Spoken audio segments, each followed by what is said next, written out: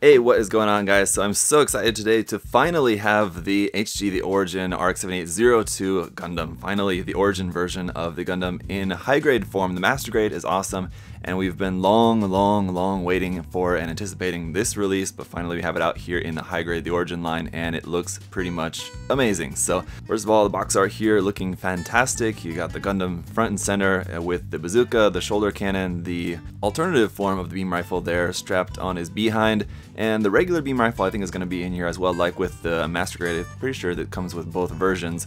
And then we also have the iconic upside down shield here for the Origin version of the Gundam. So it looks really great, looks uh, very highly detailed, and it's going to have some cool markings and everything on there, just like we come to expect from the The Origin line. So can't wait to check this out. As always guys, if you want to check the kit out for yourself or anything else, check the link down in the video description to USA Gundam store and use my coupon code there, ZakuAurelius10 to save 10% off everything there on the store. So this is number 26 in the line. Took them all the way to 26 to finally come out with this, and I'm not sure how many more they're going to come out with. This may be one of the last HG The Origin kits because they've certainly slowed down quite a lot. It's been a while since the last one. So I don't know what else they might still yet come out with in the line. Hopefully they still do a few more because I really like them, but we'll have to see. Here on the bottom of the box, we just got a front and back view of what this kit is going to look like when it's all painted up. We've got both versions that you can make with this, either the middle early type or the middle type there. Are so slightly different parts for the arms, slightly different shoulder parts, and also slightly different parts for the top of the chest as well. So it's just some very small differences between the two forms, but still cool that you can make two different versions of this. So may want to make you buy two of this kit with all the different option parts, and things that you have. So then we just have a little bit about the RX-78-02 here and Amuro Ray, of course. Over here about Gundam The Origin, Gundam Rising.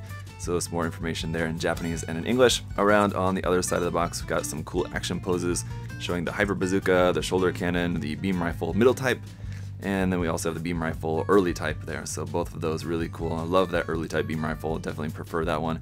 And then once again, just showing the differences between the shoulders there, the shoulder markings, we got a bunch of markings in here, and then just some fantastic articulation. Again, pretty standard to the HG The Origin line, the articulation is usually pretty good, so certainly expecting no less here.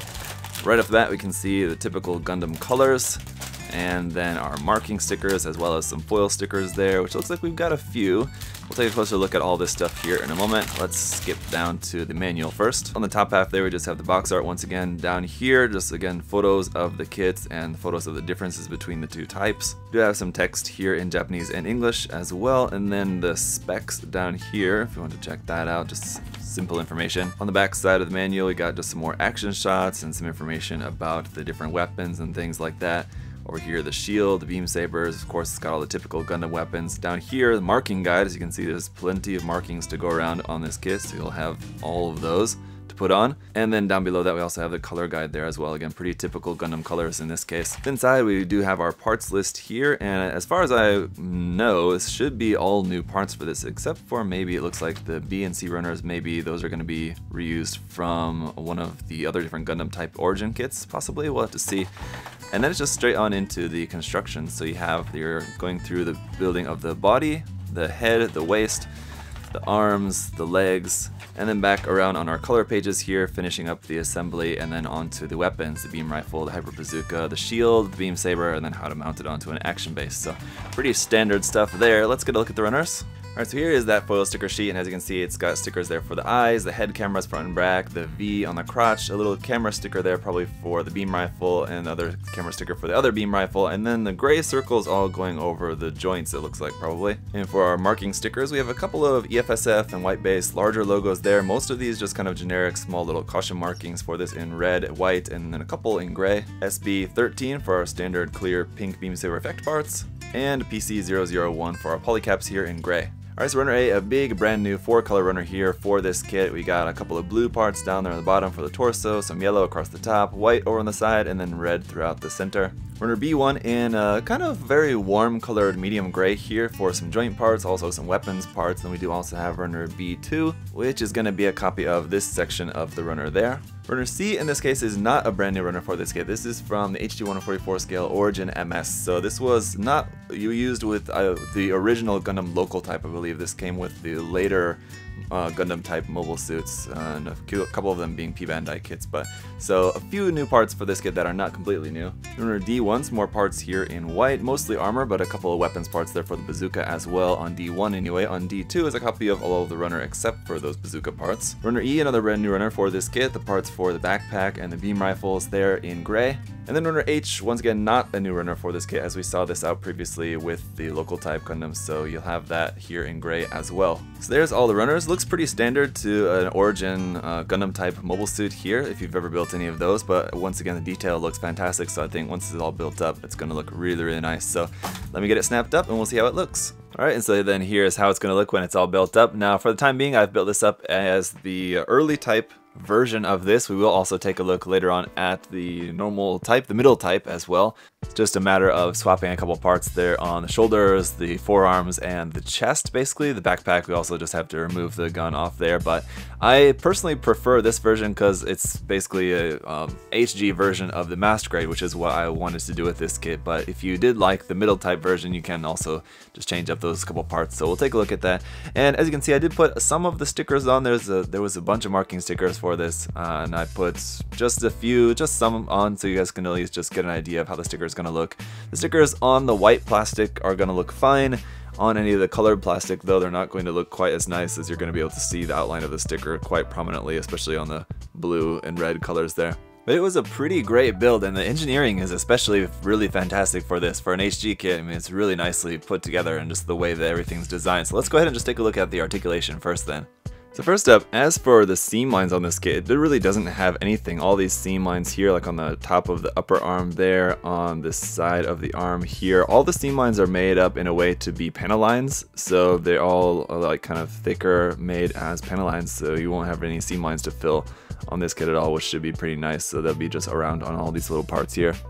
You do have a little bit of seam line like here on the cannon up there at the top, the barrel, and this part there on the back. So you have a little bit of seam line around there. As for the stickers, the foil stickers anyway, we got one for the eyes there, for the camera at the top of the head, and then at the back of the head there. But that piece for the, at least the front of the head, that has the chin, the eyes, and also the head camera all in solid red, but you also have just a foil red sticker to go over that if you want, but if you didn't want, that is just molded in red, at least the front head camera there. Also the little V there on the crotch is a little yellow sticker there. And all these little joint covers here on the elbows, the knees, and the ankles. Those are little gray stickers in there for those as well, unfortunately. But anyway, they look alright. As for the head articulation, we have a double joint that will allow the head to go all the way up to there, which is pretty nice. You do also have the safety flags here on the V-fin, of course. You can cut those and sand those down carefully. Be very careful though, because this V-fin is quite small and thin. But again, the color separation of the Vulcans in the head being a separate piece in there as well will make them not only easier to paint, but it just looks really, really good in there also. So the shoulder joint that will be able to pull forward, swing forward like that, pull that polycap out of there. And the whole section which holds the polycap will move out as well, so you can actually get really nice upward movement here also, which is something that a lot of kits don't have. So you can get some really nice upward movement there at the arm. And the arm going to work pretty normally from there, just rotation at the top, a double joint at the elbow to give you a really nice full bend there, and then the wrist just on a ball joint here. At the torso section, you have a really nice back bend there as that whole part will bend backwards like that and then this whole part will also bend forwards like that for a really nice full bend. It looks a little bit strange from the back, but you get a full bend there also. You can also move that a little bit side to side as well, so that's nice. And then of course, rotation there also. Around here on the backpack, you'll notice these thruster bells are just on little ball joint uh, polycaps there, so you can move those around a little bit. The beam saber handle, uh, this whole section can be able to rotate a little bit as well as with the cannon on this side you have two points of articulation, one here, and this tends to pop out really easily, so just be a little bit careful with that. I would maybe put a little glue or something on this peg just to tighten that up, so that when you plug that in there, it's a nice tight fit. But then you can also rotate the cannon there at the top as well, so nice joint there for that. No stickers for the two little cameras here at the front and back of that cannon, though you could probably cut a little bit off the sticker sheet and place that in there if you wanted to. For the front skirts, you can clip those apart. Actually, they just twist apart really easily. You, probably will separate them by accident uh, in just the midst of building the kit. Uh, they're made, they're joined, they're molded together, but they just come apart really super easily. They just kind of twist apart just like that. So those can move on their own, totally up out of the way. Won't be a problem at all. On the side skirts, those also will move up a little bit out of the way like that. The back skirt, once again, though, as normal for an HG kit, is just fixed in place. That doesn't move at all. Now, as for the hip, this whole hip joint will rotate forward like that, and then out to the side. You'll be able to bring the legs out really far out to the side there, and then with the uh, front skirt armor up, you can bring the leg up to about 90 degrees there and then to bend the knee, have a nice armor separation there of the knee, of a full bend there and some nice even uh, some detail up in there inside the exposed knee joint there also, so very cool. Down here at the ankles, the ankle armor is just attached onto the front, not actually on the sides, but just attached here at the front of the kind of shin armor there, so that will kind of just kind of free flow there in place. The ankles will be able to move side to side really nicely, so you should be able to get a really nice wide stance out of this. And then forward, you have a nice little toe bend here as well, very nice for an HG kit and then down to there and then up underneath the feet nice full detail there as well so very nice all around as for the hand options obviously on here you can see we have the open just kind of resting hands these could be acting as like a rifle support hand as well I suppose but we do also have just the regular holding hands here for holding the beam saber handles and the trigger finger hands for holding the um, beam rifles. Now, once again, we have two different types of beam rifle. We got the early type, which I really like. I prefer this one. It's so cool looking. I like this version of the beam rifle. You have this little tab on the side here, which will flip out, and then you can plug that onto the back skirt. Also, the main camera will move side to side. That is a separate yellow piece in there for that. That's nice. This is a foil sticker here for the camera of that. And then we do have a secondary handle which will fold out of the side here like that for a two-handed grip. If you want it, as you can see, we have a little peg on the handle there that you can plug this into the hand nice and securely on either the left or the right side. So all very nice, looks very good. We do have a little bit of a seam line on this one as well, but again, for an HG weapon, that's pretty normal. And then the middle type beam rifle, which is pretty standard kind of Gundam beam rifle looking here, except that's a little bit different here towards the back end. Then of course you have the part here in the center as well, where this will fold out so you can plug this onto the back skirt also. So once again, just as normal, the camera moves, the forward handle moves, and it's a pretty nice design. I really like this slightly different take on the Gundam's standard beam rifle. You also have the Gundam's Hyper Bazooka, which is very nice here. This one, also the forward handle will move forward and back like that. And you got a little tab on there for being able to plug this into the left or right hand as well, you have the connector piece for that, which I have just connected onto there. So this will plug onto the back skirt and then you just pop that onto there for plugging this onto the back skirt for storage. In this case, it's not a yellow piece, but a yellow sticker there for the camera for this one, unfortunately, but that camera will also move a little bit like that as well. Otherwise, again, really nice molding for this one. You do have a seam line down the middle of the white parts there. The end is one solid piece, but then the main body uh, is two halves, so you have a seam line going down the middle of this white part there. We got our two standard clear pink beam saber effect parts here, of course, and the shield, or the shield, depending on which type you're building this as. And for this one, the handle will move up and down. This whole thing will just slide up and down on a track here. You have a lot of nice detail in there. Of course, it's just all molded in white. And so this handle will move a little bit up and down like that. And then this is the connection that will just plug onto the back of the arm. So you have some nice movement there as well, so this should plug onto the arm really nicely. Now, with the Master Grade, you could plug the beam rifles into the back of the shield, and then you've got these points here where it looks like maybe you can do that, but let's try it here. I've not, I don't think I've seen any of like the official information showing that you can do this or not, but you can plug that onto there. But as you can see, this handle is kind of getting in the way. Let's try with the other beam rifle, and this one maybe will work better. So if you wanted to have the beam rifle plugged onto the inside of the shield, looks like maybe that could work there. It's going to be sticking out and looking a bit weird, but at least it's not going to be in the way of anything. You should still be able to attach this onto the arm and have it holding onto the handle here with the beam rifle still in place. And if you wanted to have the beam rifle actually like sticking out like it's shooting from inside the shield, I suppose you could do that in a way like where you remove this front handle and then plug this onto the arm and then have this attached onto here. So you would have it holding onto this handle instead of the shield handle. Again, I think you could omit that and then have it just holding onto the actual beam rifle handle and then have this plugged onto the arm and then have that like a shield gun combo there attached onto the arm like that. It could actually be pretty cool. So it looks like you should be able to do that anyway. And then of course we've got the option parts. So for building the middle type shoulder armor, you'll have to replace this part here at the end. So there's what that is going to look like. Here's the middle type versus early type. Again, it, both are cool, but I just kind of prefer the look of the early type here like that. Just again, a 140, 144 scale version of the Master Grade basically. Uh, but this one is also pretty cool. For the backpack, basically you just remove this part here, plug on this second Beam Saber handle here, looking just kind of like the normal RX-78-2 and that is how you make the backpack for the middle type. For the forearms, basically you need to remove this little gray part in here, so I think it's better to just remove this whole part here at the front, pull out that little gray bit there, that goes back on like that, and then this side you have to replace this part here so that both arms are matching like this, but you don't have anything actually installed in there in this kind of part where it looks like you should have something in there. And then the whole front of the chest also needs to be replaced with this bit. Now I guess before we do that, I forgot about this little piece here the little Gatling gun there at the top of the shoulder armor. So this part here you can remove, put little gray piece there in between, and there you go. There's how that looks uh, for how that's supposed to be opened up, firing the Gatling gun there on the chest as well. So very cool. But anyway, you need to replace this whole front of the chest with this part here, which basically just doesn't have the two little holes on this side. You can see it's got the one larger hole and the two on this side. This one just has that little bit different detail. And then it doesn't have this bit here on the side of the chest. It just it's supposed to be just flat on the top of the chest there as well.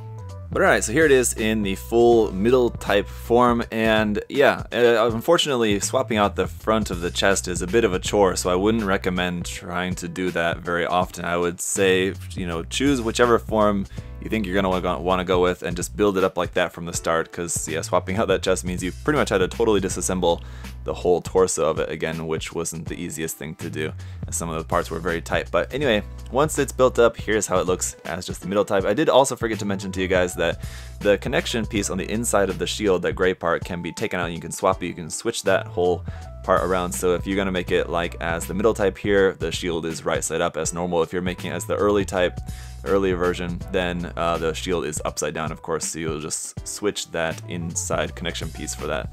We'll just flip upside down. But anyway, it looks cool and looks very good for just uh, pretty standard version of the 1144 scale uh, RX-78-2 Gundam. Now, this is why I prefer it as the early type because it looks a little bit more different from the standard Gundam. This one looks pretty close to just the typical RX-78-2, less so much like the RX-78-02. So let's take a look at a comparison here real quick first, and then we'll change it back to the early type. So here's a quick comparison with the HGUC Revive RX-78-2 Gundam, and as you can see, it's definitely going to be looking much cooler. As much as I love the Revive Gundam, this one version is very cool looking. Now, the other thing you'll notice is the plastic color. Now, with the Revive Gundam, it has that slight tint of green to it to sort of recreate the old, old colors of the kits and they used to be kind of slightly tinted green for the white colors. Now with this kit though, it's molded into straight white though, which I actually kind of don't like. I wish that it was the same as with the Master Grade, where the Master Grade had that kind of uh, warm, kind of almost like off-white cream kind of color to the white. I like that color for the origin version of the Gundam, so I'm a little bit disappointed that this version of it was just in just straight up white. Also, the shield can be attached onto the backpack by just folding up the connector piece like that. It just plugs there onto the center of the backpack like that and works pretty well. Ah uh, yes, and one more thing that I forgot to mention, which you'll see here, is that there's that flap on the back of the leg, on the back of the calf there that opens up, and there's another little thruster bell hidden up inside there. Very cool little detail that I just kind of forgot about, because how often is it an HG kit has a detail like that? It's not very often. And so that's another really cool detail added onto this. And just the color separation, I didn't really mention this either on the knee, where it's unfortunate that we have the gray stickers for the sides of the joints, but on the knee there's some really nice part separation with the gray part of the vent there, and then there's a couple little bits of gray just like poking out through the armor there on the knee as well. So just overall, well, it does have a couple of stickers on it. I think the color separation on this is really quite nice. The articulation, the engineering of this kit, as you can see, I mean, posing the kit, it's it poses fantastically. It looks awesome. It looks great.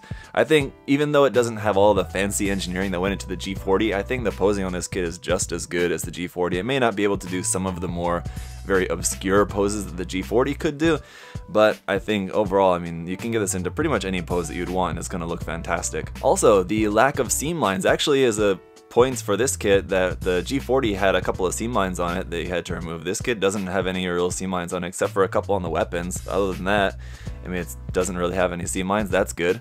And even though there are a couple of seam lines on those weapons, I think just the amount of weapons, the options that you get in here are quite nice. I mean, it's pretty typical as far as that you get the shield, the beam rifle, and beam sabers, but then the addition of the second beam rifle, and then bazooka. Bazooka is also sort of semi-standard, so a lot of HG kits do come with some sort of bazooka like that as well, sort of, but not always or not necessarily. So I think just the amount of weapons that you get with this is great, and then the option parts, just the different option parts to make it either as the early type or the middle type, or you can mix and match. I mean, there's no rule that you have to make it as one particular type. You, if you like the shoulder armor better, of like the early type, but you like the chest armor of the middle type better, there's no reason that you can't mix and match that stuff. So I think the options that you get in here uh, do make for a really nice uh, set. So is this definitively the best version of the RX-78-2 in 1 44 scale form? I gotta say, uh, probably yeah. It's I think uh, very detailed, similar to the RG, and I think just probably generally more stable, more options than the RG as well. It doesn't quite have the gimmick of the interframe and everything like that, of course, but uh, it's definitely more detailed and I think equally as articulated, if not more articulated than the Revive version and also comes with a little bit more accessories than the Revive version, of course, as well. And the G40, I mean, the G40 is very expensive and hard to get, so that's points against it right away, but it's also a very odd, different design as well, so unless you really like that, then I'd say this is probably the best version of the RX-78-2 that we have in 144 scale form.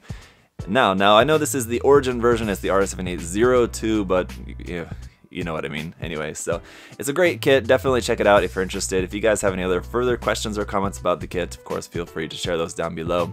Uh, my only small complaint that I would make about this is that I wish the white plastic was in the off-white cream color plastic like the Master Grade, but aside from that, very satisfied with this kit and I'm very much looking forward to painting it up. So I'm going to be painting this up in the near future, so look forward to a work in progress video on that very soon. And until then guys, thanks so much for watching. I'll see you next time. Bye bye.